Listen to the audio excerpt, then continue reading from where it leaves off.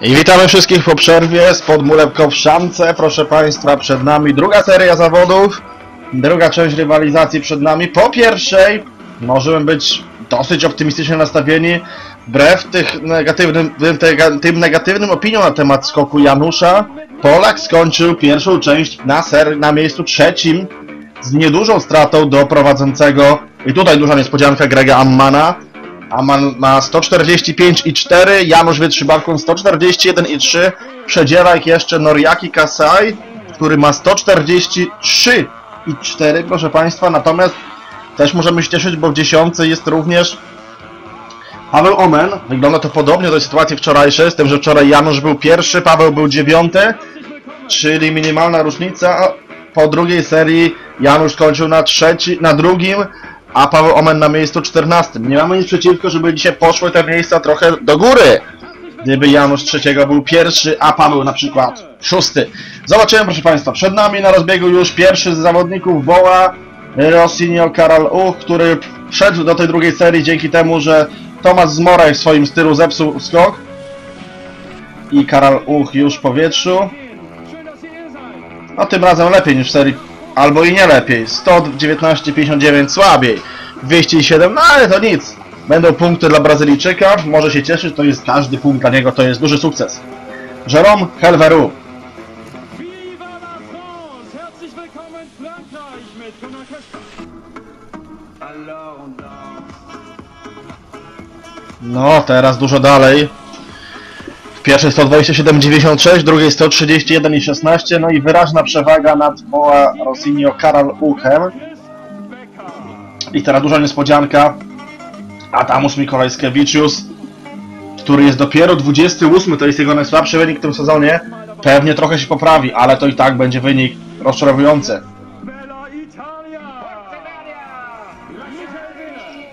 No nieźle, ale wyraźnie tego mocno pewnie nie podniesie. Jest wprawdzie pierwszy ze sporą przewagą, ale czy uda mu się wywalczyć jakieś miejsce, załóżmy w 15? Wątpię. Kun Gao Kao. To też sukces Chińczyka. Chociaż myślę, że spadnie, bo jednak Mikolaj Skiewiczusa wyprzedzić nie powinien. Mimo, że skacze zupełnie dobrze. Będzie drugi. Nie, trzeci, przepraszam, tam jeszcze Herveru. Yy, 131 skoczył, ale i tak dwa niezłe skoki Kunga Okao powinien być 29, chyba że ktoś zepsuje jeszcze, na przykład Julian Sorin Pitera, 26 pozycja Rumuna.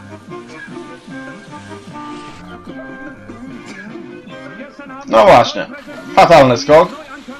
Pitera będzie ostatni skok najkrótszy w całym konkursie, 91 i 73 i on się nie liczy. Znaczy, tak by się nie liczył, a teraz to się kompromituje. Demir Eiberg.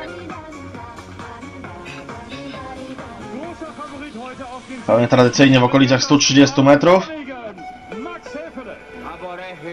No, tym razem bardziej 120. 121, 2. Tak, 121. I czwarta lokata. K- Kun Gao Kao Helveru i Mikał Eskewiczus przed nim. Ola Einar Bjerndalen zdecydowanie poniżej oczekiwań. Gdzieś ta forma mu uciekła. Może teraz będzie lepiej. Na pewno będzie lepiej. Bjerndalen będzie nowym liderem? Chyba nie. Tak jest. Drugi przegrywa z Mikolajskiewiczusem. Wprawdzie niewiele, było półtorej punkta. Ale jednak Bjerndalen drugi. I teraz drugi z Ukraińców tej serii. Wojciech Becker. Akumo oczywiście nie ma. Becker też słabiej niż się można było spodziewać. Czy wyprzedzi Mikolajskiewiczusa? Miał sporo przewagi, no i wyprzedzi. Ładna dosyć odległość. 140 i 37, no ta pierwsza powyżej 250 punktów. I Becker i Mikołajskiewicz prowadzą. Czy długo to będzie tak wyglądać? Zobaczymy. Lars Matt słabiej niż się spodziewałem. Wczoraj 10, a dzisiaj na ten moment dopiero 22. Weiß auch exzellente Skispringer. 15-latek z Danii, teraz będzie czwarty.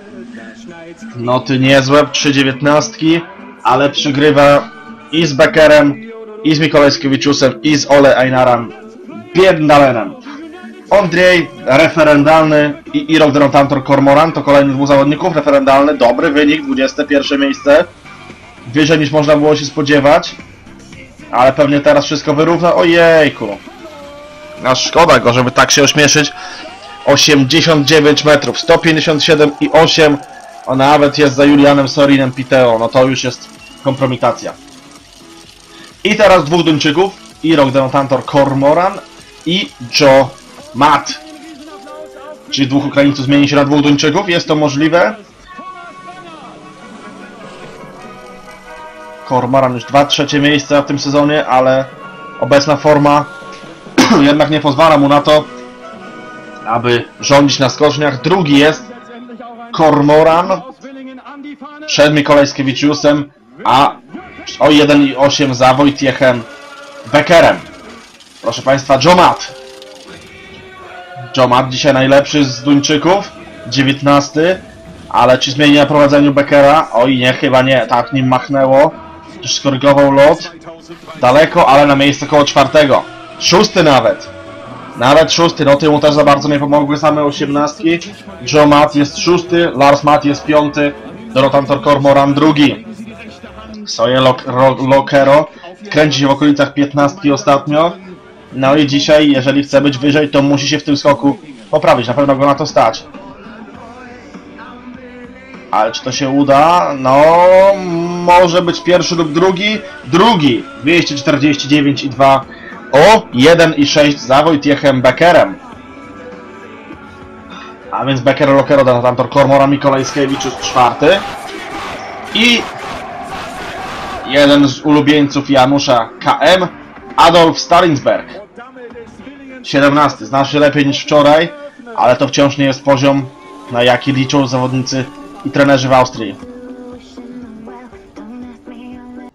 No, ale teraz będzie pierwszy.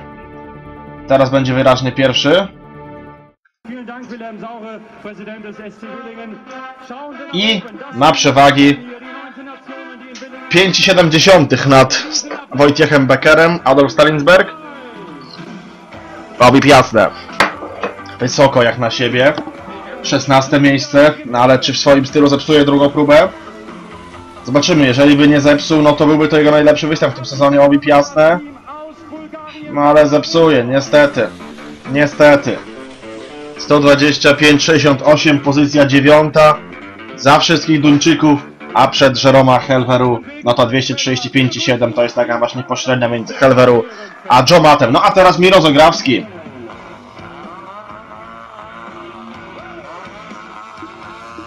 Miro fatalny skok pierwszej serii, nikt się tego nie spodziewał, że aż tak źle skoczy Zograwski.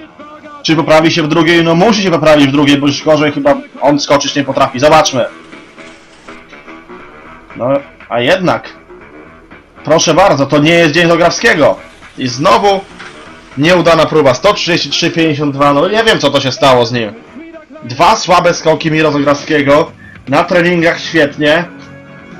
A w zawodach za Kormoranem, za Lokero, za Beckerem, za Stalinsbergiem. No nie spodziewałem się tego. To jest duży szok.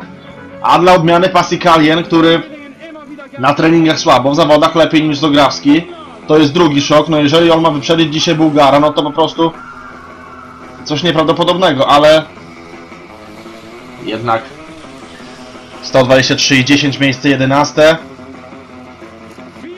Tak, Janusz ma rację. Słuszny, że papież nie wyszedł, no bo do kogo? I teraz Riku Pika Antalainen. Zaczynają się już nazwiska dosyć istotne. Antalainen jest 13.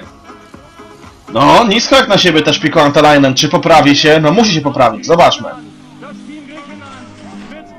Ojej! Ua, ua, ua, ua, ua, ua, ua! Uuu. Ojej.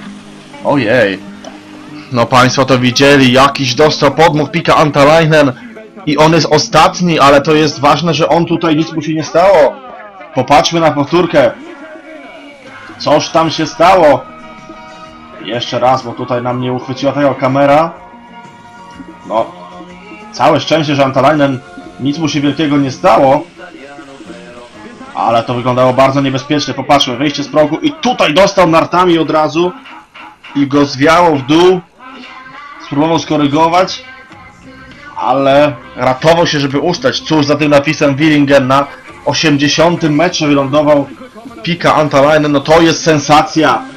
To jest sensacja. Proszę Państwa, czwarty zawodnik Pucharu Świata będzie dzisiaj ostatni w drugiej serii. Fatalny upadek. Znaczy nie upadek, tylko fatalna sprawa. Dobrze nic mu się nie stało. Sven Bangert. i ruszył.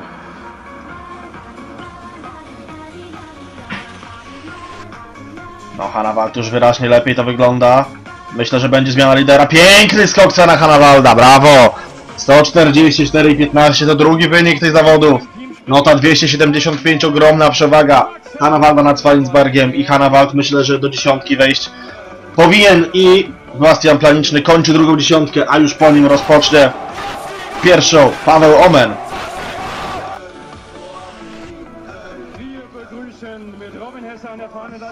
Planiczny na miejsce trzecie lub czwarte.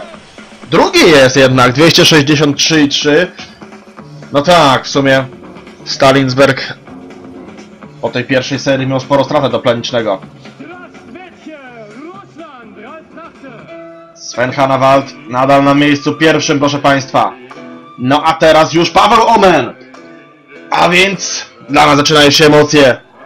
10 skoków bardzo ważnych. Paweł Omen, trzymajmy kciuki, to był skok. Niech on pokaże co potrafi, niech udowodni, że nie tylko Janusz Wytrzymarko się liczy Paweł Omen. Dobrze wyszedł w powietrze, ułożył się jak ten polski orzeł, leci Paweł Omen! Dobrze, ale nie będzie pierwszy. 140, 83, bardzo ładny skok. 272 i poleż piękne noty. 3 dwudziestki, 19,5 od Szweda, 19 od Niemca, jednak Niemcy do nas są uprzedzeni. Może tam powinien coś, ten, ten nasz gość na czacie powiedzieć coś do tych Niemców, żeby tak nie oszukiwali. Proszę Państwa, 140-83 o 2,5 punkta. Paweł Omen z Hannawaldem przegrywa, ale to jest dobry skok. Na pewno będzie wyżej niż wczoraj. Paweł Omen, miejmy nadzieję, że również i drugi z Polaków będzie wyżej niż wczoraj, bo wiemy, jakie wyższe miejsce może być tylko dla Janusza Wytrzymalkona, Gerhard Artinger. I spójrzmy.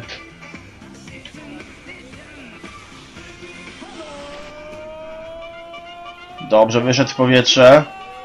Chyba niestety Omena wyprzedzi. Ogólnie może być pierwszy. Drugi. 274,7 noty słabsze. Noty słabsze, ale skok jest niestety dłuższy. I o 2,2 jest przed Omenem. No Omen na podium oczywiście nie stanie. Aż Teoretycznie jeszcze ma szansę.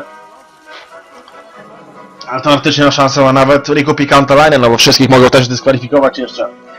Jarko Kim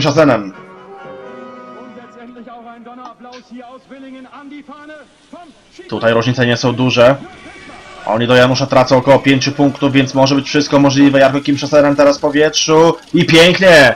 Będzie zmiana lidera. 144 i 10. Jarko Kim Szaserem 279 i 6.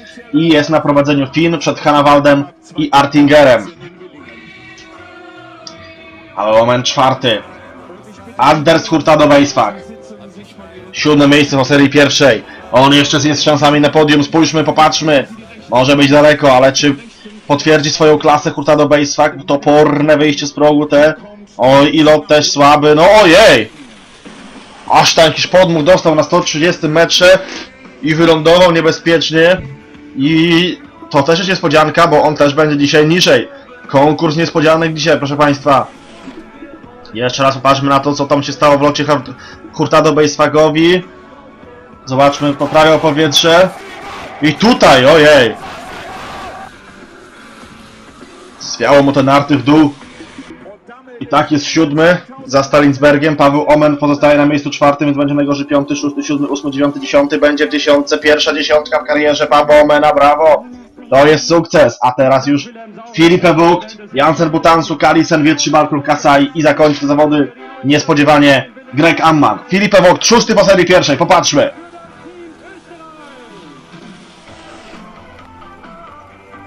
Wysoko leci Wok, to będzie odległy skok, ale czy na pierwsze miejsce? Tak, nie, nie, nie, 277,7 o 1,9 za Jarko Kim Szosenenem.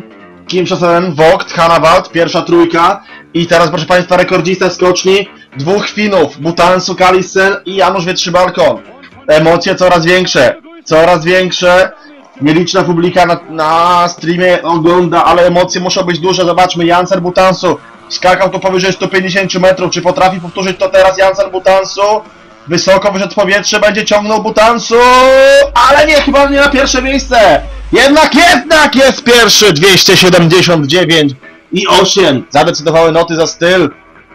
O dwie dziesiąte wyprzedził Kim Senena, dwóch chwilów na prowadzeniu. Jansen Butansu i Jarko Kim Senen. I teraz Lasse Kalissen. Lasse Kalissen. Drugi zawodnik w Pucharze Świata gonić próbuje Kasajego, ale nie wychodzi mu to. Kasaj notorycznie jest wyżej.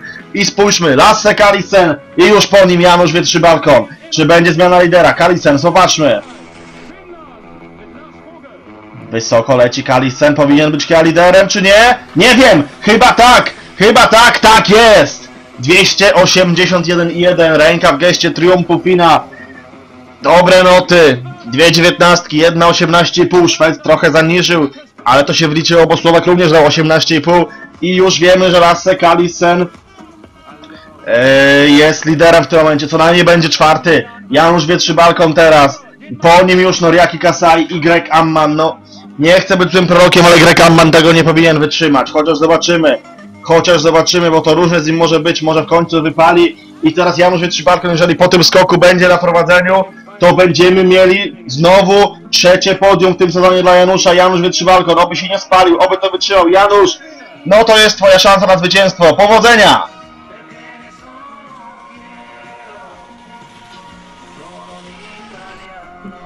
Nieźle w powietrzu Janusz, jeszcze trzeba pociągnąć. Janusz, walcz, walcz, walcz, walcz, walcz i będzie pierwsze miejsce! I jest pierwsze! Pięknie! 144, 17, 285 o 3 i 9, a więc bardzo wyraźnie Janusz Wietrzy Balkon wyprzedził ja, y, Lasse Kalisena i mamy podium, proszę Państwa! Pięknie! Piękna sprawa, brawo! Brawo, brawo, jeszcze raz brawo, a więc teraz patrzymy, co zrobią rywale, co zrobi Noriaki, co zrobi Greg Amman, to już wszystko w ich rękach. Janusz zrobił to, co mógł, ma co najmniej trzecie miejsce, pokonał trzech świetnych Finów, pokonał Wokta, Hanawalda i teraz Noriaki Kasai. Czy Noriaki po raz szósty z rzędu staje na podium? To byłoby coś niesamowitego, popatrzmy, Noriaki, lubię go, ale mógłby być drugi. Oj, oj, oj, oj, oj, ależ tam błąd Kasai powiało nim! Coś niesamowitego! Co żeś się stało z Noriakim? Tego się tutaj nikt nie spodziewał. To już drugi zawodnik, który cię w ten sposób zakończył. Ojej! Ojej! No tego się, proszę Państwa, nikt nie spodziewał. Coś się stało z Noriakim. Dobrze, że bezpiecznie to jego doświadczenie pozwoliło mu utrzymać się w powietrzu. Spójrzmy, wyjście z progu jak najbardziej w porządku. Tutaj, coś tutaj, zobaczmy go powiało. I on tutaj z tego już nic nie mógł wyciągnąć, chociaż próbował, zobaczmy się ułożyć. Ale nic z tego. Nic z tego. Wylądował na bezpiecznie na 110 metrze, ale to już kolejny zawodnik, który dzisiaj w ten sposób kończy.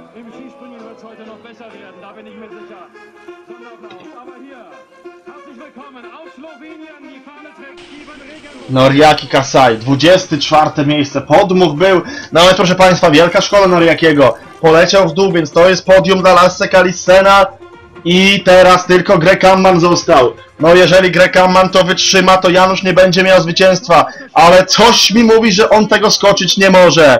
Myślę, że on tego skoczyć nie może, że on nie powinien tego. Wytrzymać, proszę Państwa. Greg Amman na rozbiegu, czy to będzie skok, który da Zwycięstwo Januszowi Wietrzy Balkonowi, popatrzmy, Greg Amman na rozbiegu. I jak to będzie wyglądać?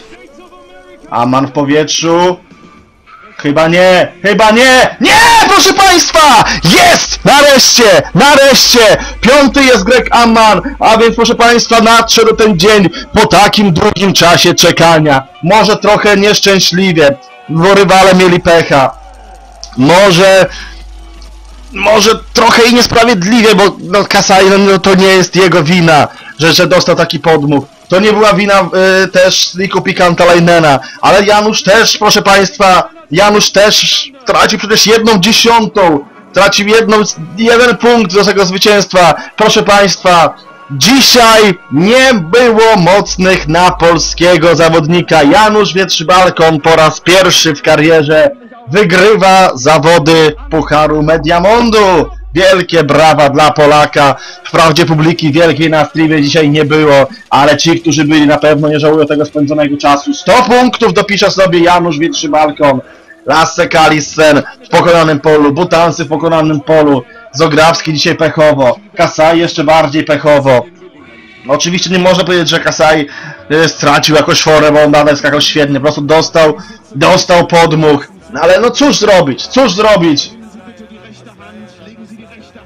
Proszę Państwa, piękny, piękny moment. Janusz Wietrzybalkon wygrywa na ziemi niemieckiej. Na ziemi niemieckiej. Wczoraj drugi, dzisiaj pierwszy. Mamy ten upragniony złoty medal. Może nie jest medal Mistrzostw Świata, może to nie jest Mistrzostw Olimpijskich, ale to jest to, co otwiera drogę do zwycięstwa polskiemu Orłowi.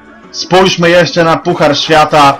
Janusz Wietrzybalkon awansował, gdzie on tam na trzecie miejsce, proszę Państwa! Janusz Wietrzybalkon przez to, że Jansen Butansu słabiej, Bejsak słabiej, Vogt słabiej, Antalanen miał pecha. Janusz Wietrzybalkon na miejscu trzecim!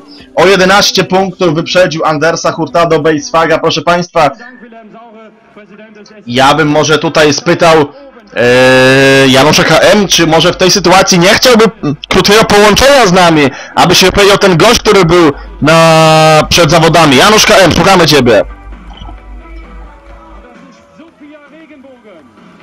Czekamy wciąż na połączenie.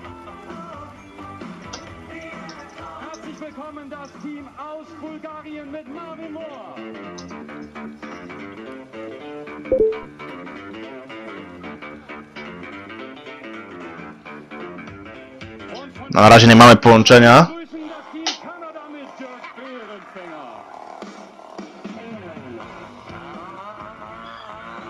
Halo, halo Januszu.